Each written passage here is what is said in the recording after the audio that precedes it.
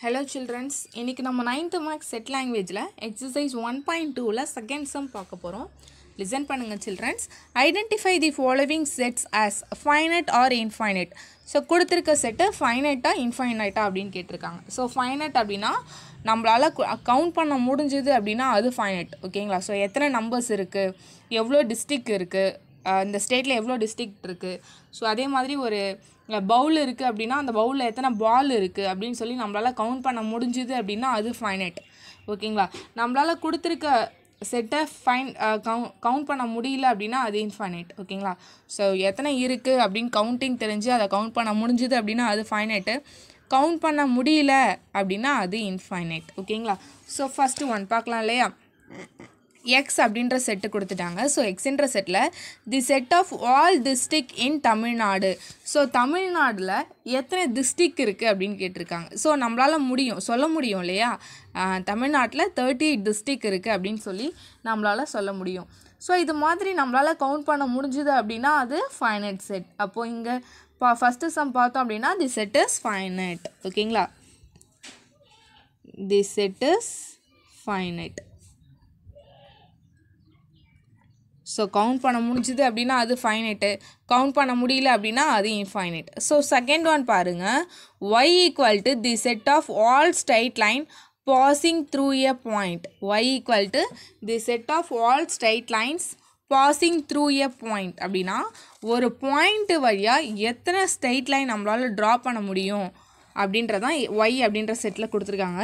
So இப்போ பாருங்கள் ஒரு பாயிண்ட் இருக்குது இந்த பாயிண்டில் எவ்வளோ ஸ்ட்ரைட் லைன் நம்மளால் ட்ரா பண்ண முடியும் அப்படின்னு பார்த்தோம் அப்படின்னா நம்மளால் அன்கவுண்டபுள் எவ்வளோ வேணாலும் நம்மளால் ட்ரா பண்ண முடியும் இதில் ஸ்ட்ரைட் லைன் இல்லையா? ஸோ நிறையா ஸ்ட்ரைட் லைன் நம்மளால் ட்ரா பண்ண முடியும். ஸோ அது வந்து கவுண்டிங் இல்லை.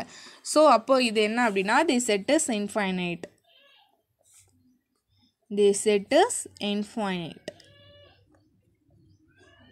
to understand childrens so third one பாருங்களேன். ஏ அப்படின்ற settle X where X belongs to Z and X less than five so இதில் பார்த்தோம் அப்படின்னா எக்ஸ் பிலாங்ஸ் டு இசட் அப்படின்னு கொடுத்துருக்காங்க ஸோ இங்கே இசட் அப்படின்றது என்னது? இன்டீஜர் அப்போது இன்டீஜர் அப்படின்னா அதில் என்னென்ன நம்பர்ஸ் இருக்கும் அப்படின்னு பார்த்தோன்னா பாசிட்டிவ் நம்பர்ஸ் இருக்கும் நெகட்டிவ் நம்பர்ஸ் இருக்கும் அண்ட் தென் ஜீரோவும் அதில் இன்க்ளூட் ஆகிருக்கும் இல்லையா? ஸோ நம்ம நம்பர் லைன் ட்ரா பண்ணுவோம் இல்லையா? அதில் பார்த்தோம் அப்படின்னா சென்டரில் ஜீரோ இருக்கும் ரைட் சைடில் பாசிட்டிவ் நம்பர்ஸ் லெஃப்ட் சைடில் நெகட்டிவ் நம்பர்ஸ் இருக்கும். ஸோ இது எல்லா நம்பர்ஸும் சேர்ந்ததெல்லாம் இன்டீஜர் அப்படின்னு சொல்லுவோம் இல்லையா? ஸோ இதில் இந்த எக்ஸுன்றது இன்டீஜர் அப்படின்னு கொடுத்துட்டு எக்ஸ் லெஸ் தென் ஃபைவ் அப்படின்னு கொடுத்துருக்காங்க. அப்போது ஃபைவை விட கம்மியாக இருக்கிறதெல்லாம் இந்த எக்ஸில் இருக்கோ இருக்குது அப்படின்னு சொல்கிறாங்க ஸோ இது வந்து நம்மளால் கவுண்ட் பண்ண முடியுதா? முடியலையா? அப்படின்னு பார்க்கலாம். ஸோ இப்போ நம்பர் லைன் ட்ரா பண்ணிக்கோங்க.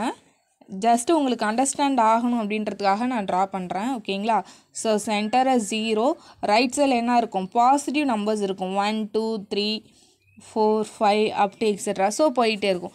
அதே மாதிரி லெஃப்ட் சைடில் பார்த்தோம் அப்படின்னா நெகட்டிவ் நம்பர்ஸ் இருக்கும். Minus one minus two minus three அப்படின்னு சொல்லி போயிட்டே இருக்கும். ஸோ இதுதான் இன்டீஜர் இல்லையா?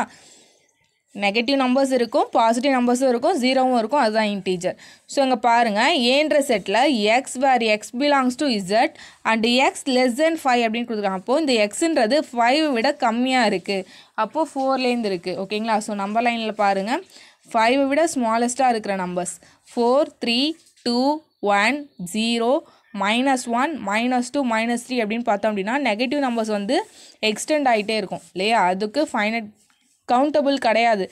பாசிட்டிவ் நம்பர்ஸில் பார்த்தோம் அப்படின்னா சொல்ல முடியும். ஃபோர் த்ரீ டூ ஒன் அப்படின்னு சொல்லி சொல்ல முடியும். நெகட்டிவ் நம்பர்ஸில் இன்ஃபினிட்டி வரைக்கும் போயிட்டே இருக்குது அப்போது இது கவுண்ட் பண்ண முடியாது இல்லையா?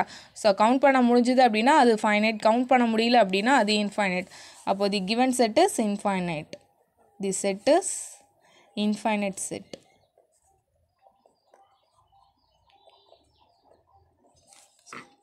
next fourth one next fourth sum listen பண்ணுங்கள் p equal to X where X square minus five X plus six equal to zero X belongs to capital N so இதில் எக்ஸ் அப்படின்றது நேச்சுரல் நம்பர் அப்படின்னு கொடுத்துருக்காங்க.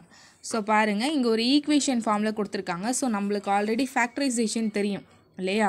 Factorisation அப்படின்னா ரெண்டு நம்பரை product பண்ணால் சிக்ஸ் வரணும் ஆட் பண்ணோம் அப்படின்னா மைனஸ் ஃபைவ் வரணும் இல்லையா? ஃபேக்டரைசேஷன் அதுதான் இல்லையா? ஸோ எந்த ரெண்டு நம்பரை எடுத்து ப்ராடக்ட் பண்ணால் சிக்ஸ் வரும் அப்படின்னு பார்க்கணும். அதே மாதிரி ஆட் பண்ணால் மைனஸ் ஃபைவ் வரணும் ஓகேங்களா? ஸோ ரெண்டு நம்பரை எடுத்து ப்ராடக்ட் பண்ணால் சிக்ஸ் வரணும் ஆட் பண்ணால் மைனஸ் ஃபைவ் வரும். ஸோ இந்த ரெண்டு நம்பர் அப்படின்னு பார்த்தோம் அப்படின்னா த்ரீ டூ ஜ சிக்ஸ் இல்லையா? அப்போது த்ரீ டூ ஜ சிக்ஸ் த்ரீ டூ ஜ சிக்ஸ் அப்படின்றது இங்கே ப்ளஸ் சிக்ஸ் வந்துடுச்சு. ஆனால் இது ரெண்டையும் நம்ம ஆட் பண்ணால் மைனஸ் ஃபைவ் வரணும். த்ரீ ப்ளஸ் டூ வந்து ப்ளஸ் ஃபைவ் ஃபைவ் தான் வருது இல்லையா? ஸோ அப்போ என்ன பண்ணலாம் அப்படின்னா இங்கேயும் மைனஸ் இங்கேயும் மைனஸ் போட்டோம் அப்படின்னா ப்ராடக்ட் பண்ணும்போது மைனஸ் இன்ட்டு மைனஸ் ப்ளஸ் ஆகிடும் ஆட் பண்ணும்போது மைனஸ் மைனஸ் மைனஸ்லேயே இருக்கும். இல்லையா? த்ரீ ப்ளஸ் சேம் சைனாக இருந்து ஆட் பண்ணிவிட்டு பிகாஸ் நம்பருக்கு முன்னாடி என்ன சைன் இருக்கோ அதை போடுவோம் இல்லையா? அப்போது சேம் சைனாக இங்கேயும் மைனஸ் இருக்குது இங்கேயும் மைனஸ் இருக்குது அப்போது சேம் சைனாக இருந்தால் ஆட் பண்ணுவோம். ஆட் பண்ணும்போது த்ரீ ப்ளஸ் டூ ஃபைவ் ஆகிடும் இதில் பாருங்கள் த்ரீ தான் பிக்கஸ் நம்பர் அப்போ பிக்கஸ் நம்பருக்கு முன்னாடி மைனஸ் இருக்குது ஸோ மைனஸ் ஸோ ஆட் பண்ணும்போது மை மைனஸ் த்ரீ மைனஸ் டூமே ஆட் பண்ணும்போது மைனஸ் ஃபைவ் வரும்.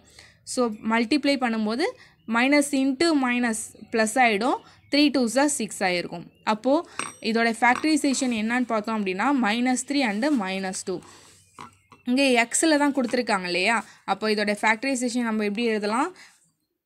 X minus three X minus two equal to zero இதுதான் இதோடைய ஃபேக்டரைசேஷன் ஸோ இதில் என்ன பண்ணுவோம் அப்படின்னா இங்கேயும் எக்ஸு இங்கேயும் எக்ஸ் வரும். அப்போ என்னென்ன வரும்? எக்ஸ் மைனஸ் த்ரீ ஒரு ஃபேக்டர் ஆகும். எக்ஸ் மைனஸ் டூ ஒரு ஃபேக்டரைசேஷன் ஆகும். ஒரு ஃபேக்டர் ஆகும். புரியுதா சில்ட்ரன்ஸ் ஸோ இங்கே பாருங்கள் ஈக்குவேஷனில் ரெண்டு நம்பரை எடுத்து ப்ராடக்ட் பண்ணால் ப்ளஸ் சிக்ஸ் வரணும் ரெண்டு நம்பரை எடுத்து ஆட் பண்ணால் அதே ரெண்டு நம்பரை எடுத்து ஆட் பண்ணும்போது மைனஸ் ஃபைவ் வரும். ஸோ த்ரீ டூ ஜா சிக்ஸு.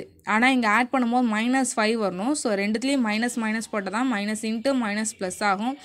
மைனஸும் மைனஸும் இங்கே பிகாஸ் நம்பருக்கு முன்னாடி மைனஸ் இருக்கனால மைனஸ் போட்டுருவோம்.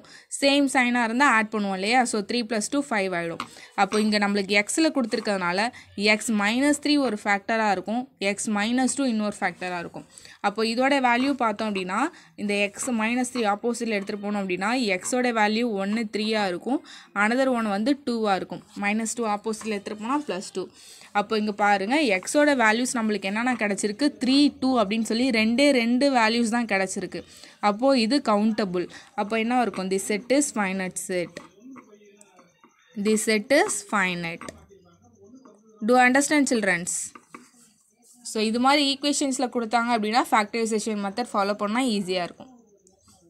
ஓகே சில்ட்ரன்ஸ் நெக்ஸ்ட் கிளாஸில் நம்ம தேர்ட் சம் பார்க்கலாம். Thank you childrens take care